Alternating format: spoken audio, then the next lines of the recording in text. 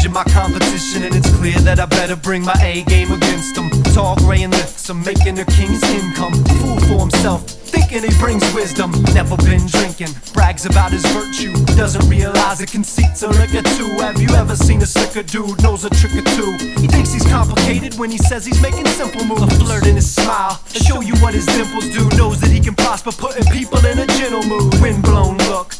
fate is too solid. Wears a cocktail of pomade, cream, and gel product. Acts like a pacifist, talks like an activist, but hasn't walked the picket line and isn't that compassionate. Preaches Christ adamant, but really loves to mock God's children as they stumble in the TV that he watch. Reps hip hop and speaks with four street slang. Like maybe you took a course on how to freestyle lame. Sometimes I feel like I'm fighting a phantom. I'm bantamweight boxing with the heavyweight champion. Dancing in my corner to tackle the enemy and just see if me is up for a battle in me you could ever come against, we don't know. If you could ever wanna, be, we don't know. If you could ever, we don't know.